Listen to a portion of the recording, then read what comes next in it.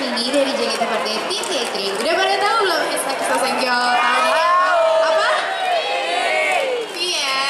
Iya, jadi di hashtag eh, aku tahun ini eh, aku menaruh banyak harapan dan rasa terima kasih juga buat teman-teman yang udah dukung aku. Dan apa ya? Eh, terlepas hasilnya gimana nanti, tapi aku mau melalui proses sosengjo menuju JGT48 ini yang emang cuma diadakan satu tahun sekali ini dengan